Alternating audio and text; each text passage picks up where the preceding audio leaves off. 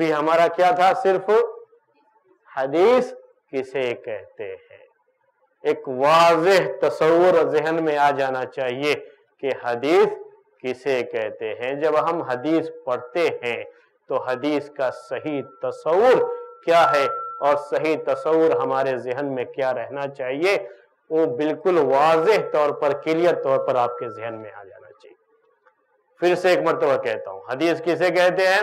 جس قول فعل، تقریر یا اوصاف کی نسبت اللہ کے رسول صلی اللہ علیہ وسلم کی طرف کی گئی ہو یا جس قول کی نسبت اللہ تعالیٰ کی طرف کی گئی ہو یا جس قول و فعل کی نسبت کسی صحابی، تابعی یا اتباع تابعین میں سے کسی کی طرف کی گئی ہو۔ اس کو حدیث کہا جاتا ہے۔ محدثین کی اصطلاح میں حدیث یہ ہے۔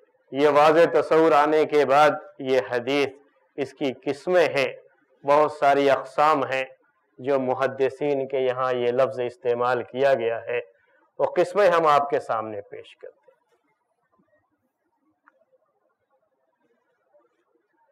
الگ الگ حیثیت سے حدیث کی الگ الگ قسمیں بھی ہوتی ہیں۔ وہ قسمیں آپ کے سامنے پیش کریں گے، حدیث کی کیا کیا قسمیں ہوتی ہیں۔ اور یہ قسمیں الگ الگ انداز سے جو ہے ہوتی ہیں۔ حدیث کی کیا قسمیں ہیں؟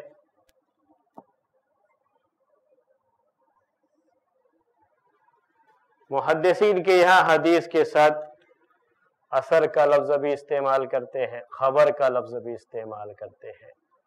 اور یہ سب کا معنی ایک ہی ہوتا ہے، چاہے ہم حدیث کہیں چاہے اثر کہیں، چاہے خبر کہیں، محدثین کی اصطلاح میں یہ سب کی سب تصور ایک ہی آنا چاہیے، جو تصور ہم نے آپ کے سامنے پیش کیا اس کے بعد اس کی قسمیں الگ الگ ہوتی ہیں۔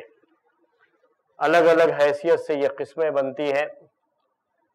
یہ قسمیں ہم آپ کے سامنے پیش کر رہے ہیں۔ سب سے پہلے حدیث جو ہم تک پہنچی ہے، اس کے لحاظ سے حدیث کی قسمیں عربی میں اس کو کہتے ہیں، بے اعتبار وصول ہی الینا۔ یعنی حدیث ہم تک پہنچنے کے لحاظ سے۔ حدیث ہم تک کیسے پہنچی ہے؟ کوئی بھی بات ہم تک کیسے پہنچی ہے؟ پہنچنے کے لحاظ سے اس کی کیا کیا قسمیں ہوتی ہیں؟ پہلے ہم اسی کے بارے میں پڑھیں گے، ترتیب بھی یہی ہوتی ہے۔ اسی لیے پہلے اس کے بارے میں آپ کے سامنے اس کا جو بھی نقشہ ہے وہ پیش کر رہے ہیں۔ آگے قسموں کا نقشہ الگ آئے گا۔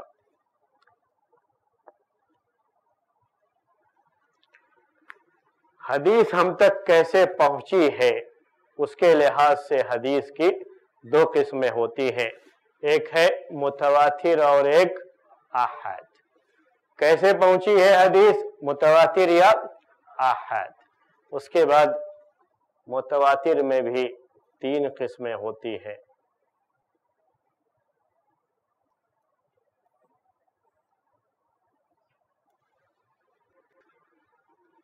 پہلے ہم اس کے بارے میں آپ کے سامنے جو ہے پیش کر رہے ہیں۔ متواتر اور آحاد متواتر کی پھر تین قسمیں ہوتی ہیں۔ متواتر لفظی، متواتر معنوی اور متواتر عملی۔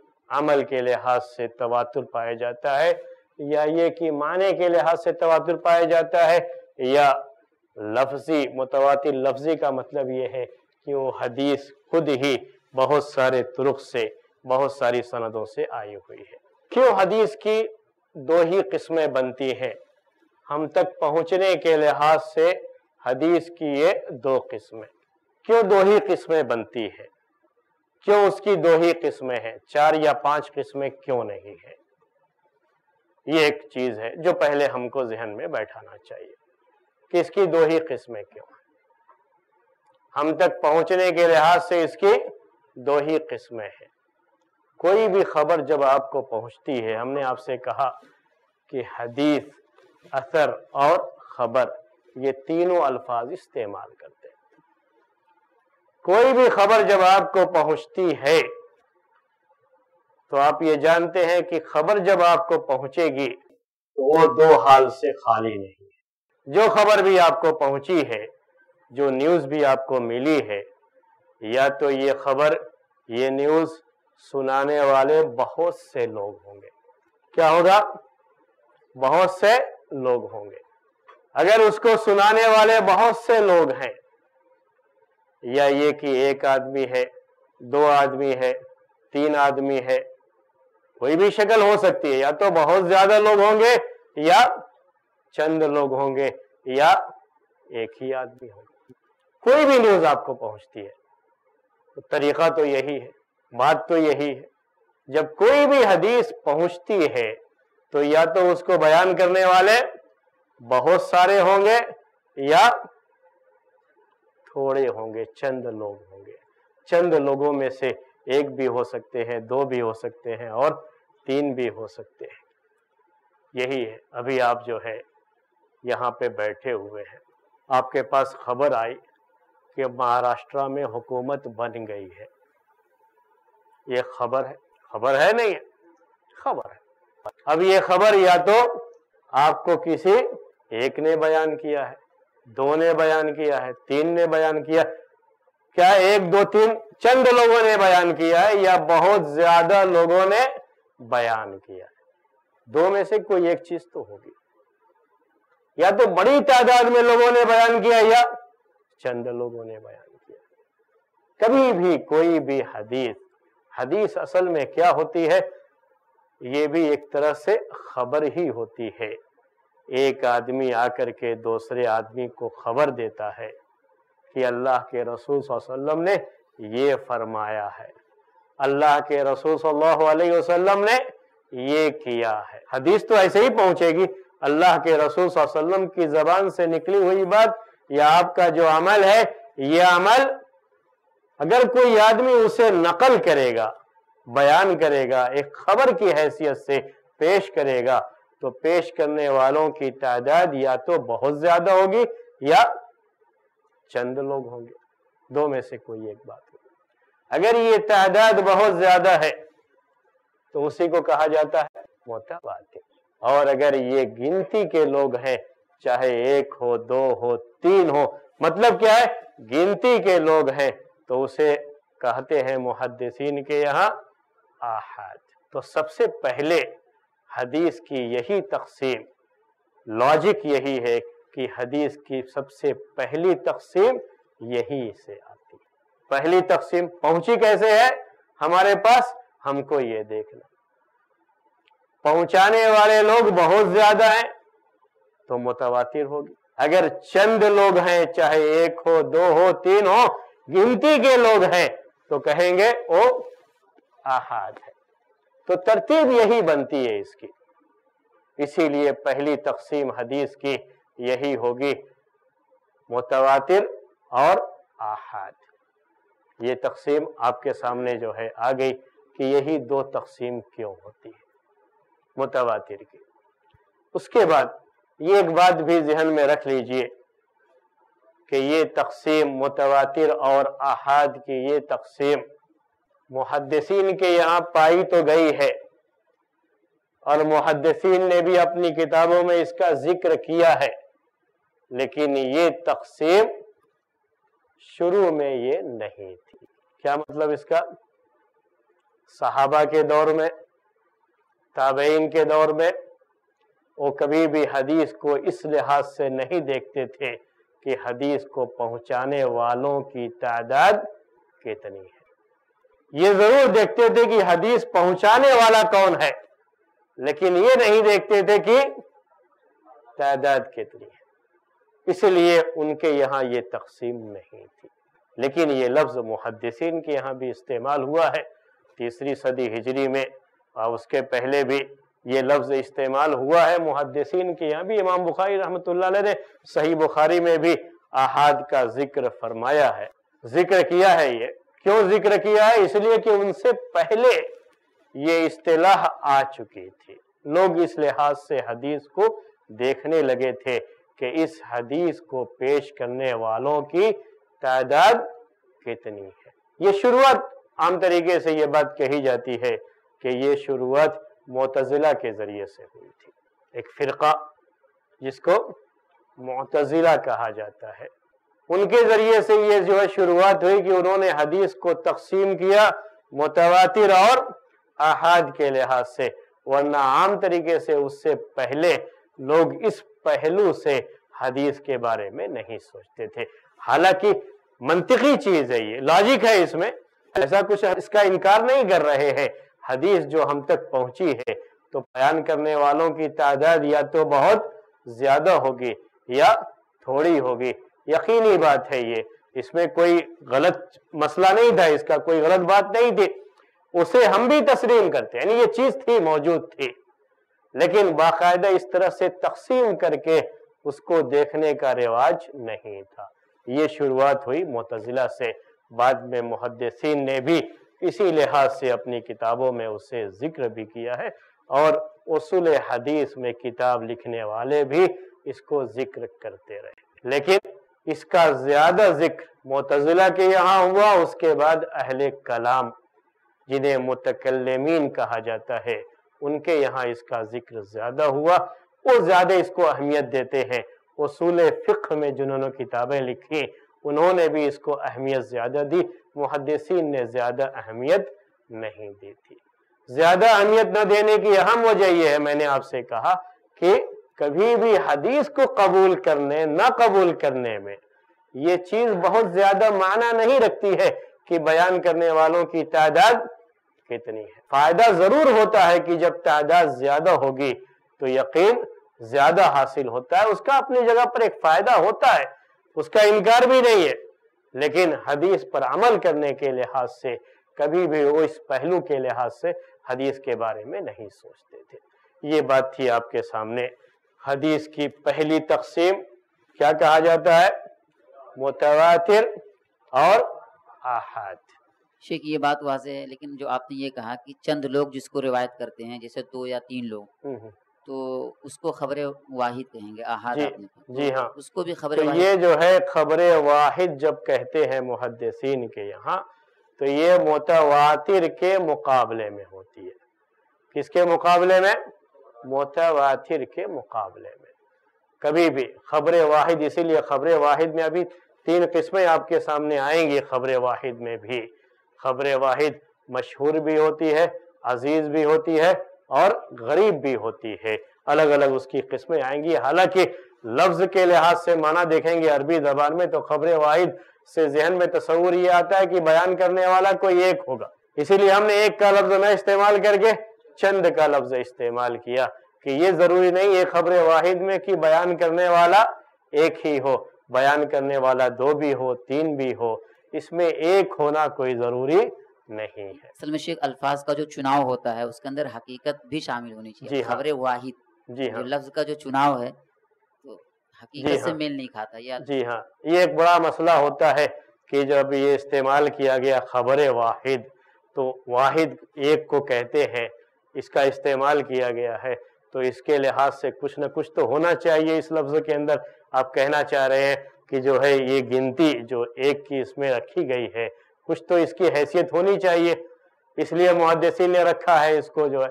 یا یہ کہ جن لوگوں نے بھی تقسیم کی ہے، انہوں نے اس لفظ کو اس لحاظ سے استعمال کیا ہے۔ ہاں یہ صحیح ہے۔ اس کو کہتے ہیں تغلیب۔ اس خبر واحد آہاد کے اندر تین جو ہے قسمیں اس کی ہوتی ہے مشہور عزیز اور غریب۔ مشہور کا مطلب یہ ہوتا ہے کہ حدیث کے راوی کم سے کم تین ہوں یا تین سے زیادہ بھی ہو سکتے ہیں، لیکن متواتر تک نہ پہنچے تو اسے مشہور کہتے ہیں۔ عزیز جس میں کہیں نہ کہیں دو راوی تو ہونا چاہیے اور کسی بھی صنعت کے کسی بھی طبقے میں ایک راوی نہ ہو، دو یا دو سے زیادہ۔ ہو اس کو عزیز کہتے پھر غریب جس میں کسی بھی طبقے میں ایک راوی تو ہونا چاہیے۔ تو اس میں ایک، دو، تین یا تین سے زیادہ یہ ساری جو ہے قسمیں اس کے اندر آتی ہیں۔ تو پھر یہ واحد کا لفظ ہی کیوں استعمال کیا گیا؟ وہ چیز سمجھنے کے لیے میں نے یہ تقسیم آپ کے سامنے ذکر کر دی۔ دیکھیے، مشہور حدیث اصطلاح کے لحاظ سے جسے مشہور کہا جائے، بہت زیادہ تعداد نہیں ہے اس کی۔ جسے عزیز کہا جائے، بہت زیادہ تعداد نہیں ہے۔ مشہور جو زبانوں پہ مشہور ہو گئی ہے، ان کی تعداد تو ہے، اس کے لیے کتابیں تو لکھی گئی ہیں۔ ایسے ہی عزیز، اس کے لیے جو اصطلاح کا لفظ ہے، محدثین کے یہاں کوئی کتاب نہیں لکھی گئی۔ لیکن غریب حدیث کی تعداد ہی اس میں زیادہ متواتر کے مقابلے میں جب آتے ہیں متواتر کے بعد آپ چھوڑیں گے اگر اس کو، تو سب سے زیادہ تعداد کس کی ملے گی؟ غریب کی ملے گی۔ اور غریب میں کیا ہوتا ہے؟ کسی نہ کسی طبقے میں راوی ایک ہوتا ہے، کہیں نہ کہیں راوی ایک ہوتا ہے۔ اسی لیے عربی میں اس کو تغلیب کہتے ہیں۔ تغلیباً جو ہے انہوں نے واحد کا لفظ ہی استعمال کیا۔ اب ایک لفظ میں تینوں کو سمیٹنا مشکل ہے۔ جب ایک ہی لفظ استعمال کرنا ہے، تو کیسا لفظ ڈھونڈتے ہیں؟ جو زیادہ ہو۔ جس کا استعمال زیادہ ہو تاکہ دوسرے بھی اس میں شامل ہو جائے تو اس طریقے سے ان کے یہاں آحاد کا لفظ استعمال کیا گیا۔ متواتر اور آحاد۔ یہ پہلی تقسیم ہے۔ اس کو آپ جو ہے ذہن میں رکھیں۔ اس کے بعد کسی بھی اصطلاح کو سمجھنے کے لیے کبھی کبھی لوگ جو ہے یہ سوال بھی کرتے ہیں کہ آخر محدثین جو یہ اصطلاحیں بنائے ہیں جن کو ہم اصطلاحات حدیث یا علوم حدیث یا مصطلح الحدیث یا علم و درایت الحدیث، یہ سارے کے سارے نام ہیں۔ اس کے ہم اس کو جو ہے پڑھتے ہیں، پڑھاتے ہیں، سیکھتے ہیں، سکھاتے ہیں۔ کبھی یہ سوال بھی آتا ہے کہ یہ سب اصطلاحات کیوں استعمال کی گئی؟ آپ کہتے ہو کہ ہر چیز آپ قرآن سے لیتے ہو، حدیث سے لیتے ہو، تو پھر محدثین نے یہ اصطلاحات کہاں سے لی؟ آپ یہ کہاں سے استعمال کرتے ہو؟ آپ کیوں استعمال کرتے ہو؟ آپ نے یہ چیزیں کیوں استعمال کی ہیں؟ آپ اس کو قرآن سے ثابت کر دو، حدیث سے ثابت کر دو۔ کبھی یہ سوال بھی لوگوں کا آتا ہے۔ لوگ جو ہے پوچھتے ہیں یہ۔ تو یہ ایک چیز بھی ہے، اس کو آپ جو ہے ذہن میں یہ بھی رکھیں آپ جب ہم یہ تقسیم پڑھنا چاہتے ہیں، محدثین کے یہاں ہم نے کہا کہ یہ بہت زیادہ استعمال نہیں رہی ہے یہ چیز، لیکن آحاد کے تعلق سے جب باتیں ہم آپ کے سامنے پیش کریں گے، تو اس میں باتیں یہ آئیں گی آپ کے سامنے کہ اسی میں مقبول اور مردود کا مسئلہ آتا ہے اور یہی محدثین کے یہاں حدیث کی اصطلاح میں زیادہ یہی جو ہے حصہ ہے مصطلح الحدیث کا جو مقبول اور مردود کے لحاظ سے آتا ہے۔ اب یہ سوال ہے، ایک اس سوال کا جواب ہم آپ کے جو ہے دیتے ہوئے آگے بڑھیں گے۔ وہ یہ ہے کہ محدثین کی یہ اصطلاحات یہ کہاں سے لی گئی ہیں؟ یا اس کے لیے اتنی لمبی چوڑی کتابیں کیوں لکھی گئی؟ یا جو حدیث کی اصطلاحات انہوں نے استعمال کی ہیں، جس بیس پر کسی بھی حدیث کو پرکھا ہے، جانچ کی ہے، یہ کہاں سے آئے ہیں؟ یہ محدثین نے یہ کہاں سے لیے ہیں؟ یہ قرآن میں کہاں ہے؟ حدیث میں کہاں ہے؟ کبھی اس طرح کے سوالات بھی لوگ کرتے رہتے ہیں۔ حالانکہ نہیں کرنا چاہیے، لیکن لوگ کرتے ہیں۔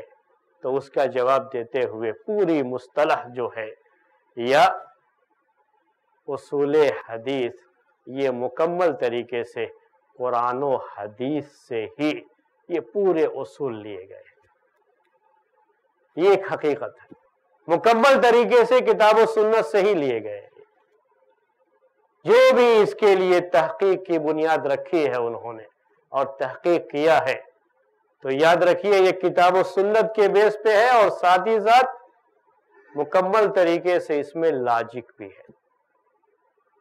یعنی کسی بھی انسان کے ذہن میں، عقل میں بھی وہ چیز آتی ہے، اس سے بھی کوئی الگ چیز نہیں ہے۔ دونوں چیزیں اس کے اندر ہیں۔ سب سے پہلے کتاب و سنت میں اس کے لیے بیس کہاں ہے؟ وہ آپ کے سامنے پیش کر دیں قرآن کی ایک بڑی مشہور آیت ہے۔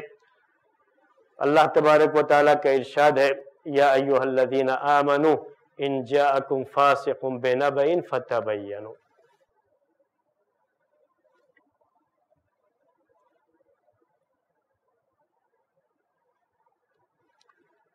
یا ایوہ الذین آمنوا ان جاءکم فاسقم بنبئن فتبینوا۔ اے وہ لوگوں جو ایمان لائے ہو، اگر تمہارے پاس فاسق کوئی خبر لے کر کے آئے تو اس کی تحقیق کر لو۔ فتح فتثبتو اس کی تحقیق کر لو۔ ہم نے آپ سے یہ بھی کہا کہ حدیث کو خبر بھی کہتے، اثر بھی کہتے۔ جب بھی کوئی خبر آئے، کوئی بھی شخص کوئی خبر لے کر کے آئے کوئی فاسق خبر لے کر کے آئے تو اس کی تحقیق کر۔ یہ پورا جو اصول بنایا گیا ہے محدثین کے یہاں، یہ پورے کے پورے اصول کس پر ہیں یہ؟ اسی آیت پر آدھارت ہے کہ یعنی اس کی بیس کیا ہے؟ یہی قرآن کی آیت ہے۔ تحقیق کرنا ہے کہ خبر صحیح ہے یا نہیں۔ ایک آدمی نے آ کر کے کہہ دیا کہ اللہ کے رسول صلی اللہ علیہ وسلم نے ارشاد فرمایا ہے یا آپ نے یہ عمل کیا ہے، اب ہمیں تحقیق کرنا ہے اس کی کہ صحیح ہے یا نہیں ہے۔ تحقیق کرنے کے لیے کیا کیا کر سکتے ہیں؟ وہ ساری چیزیں انہوں نے کس سے لی ہے پھر عقل سے لی۔ اس لیے ہم نے کہا کہ پورے طریقے سے لاجک۔ دوسری جو ہے، یہ قرآن کی آیت ہے۔ ایک حدیث ہے، اس کی بیس یہی قرآن کی آیت اور اللہ کے رسول صلی اللہ علیہ وسلم کی حدیث ہے کہ نظر اللہ عمران سمع مقالتی فحفظها ووعاها ثم عداها کما سمع. کہ اللہ تعالی تر و تازہ رکھے اس آدمی کے چہرے کو جس آدمی نے میری بات سنی، اسے یاد کیا، محفوظ رکھا، جیسے یاد کیا تھا، پھر ویسے ہی بیان کیا۔ اللہ اس کو تر و تازہ رکھے۔ یہ چیز ہے، یہ قرآن کی آیت اور حدیث۔ اور اسی کے بیس پر محدثین نے پورے یہ اصول مرتب کیے ہیں۔ انہی دو دس کو سامنے رکھ کر کے۔ میں نے لاجک کی بات کہی تھی آپ سے کہ پورے طریقے سے لاجک بھی ہے۔ آج کچھ تصور ہے جو پہلے سے ذہنوں میں بیٹھا ہوا ہے۔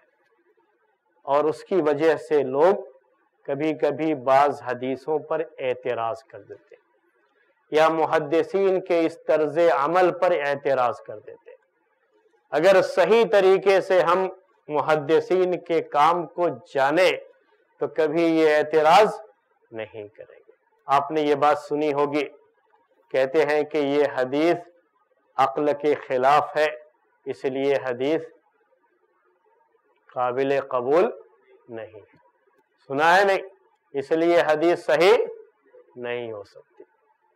یہ باتیں آپ سنتے اس طرح کی باتیں، یہ کہتے ہیں یہ اقلانی لوگ ہیں۔ اس لیے یہ حدیث کو نہیں مانتے، صحیح حدیثوں کو نہیں مانتے۔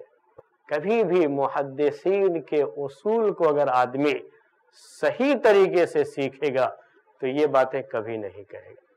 کبھی نہیں کہے گا۔ اور کبھی بھی کوئی بھی آدمی کسی حدیث کو جو صحیح بھی ہے، یہ کہی نہیں سکتا کہ یہ اخلاق کے خلاف ہے۔ یہ دو چیزیں نہیں آ سکتی۔ کیونکہ محدثین نے حدیث کو پرکھنے کے جو اصول بتائے ہیں۔ یہ اصول مکمل طریقے سے کتاب و سنت سے ماخوذ اور عین عقل کے موافق وہی نہیں، دنیا میں کوئی بھی کرے گا تو یہی کرے گا۔ یہی کرے گا، کوئی الگ سے نہیں کرے گا۔ میں اب آپ سے سوال بھی کروں گا اور آپ کو اس کا جواب بھی دوں گا۔ ایسے ہی اور ویڈیوز بنانے میں ہماری مدد کریں۔ آئی پلس ٹی وی کو ضرور ڈونیٹ کریں۔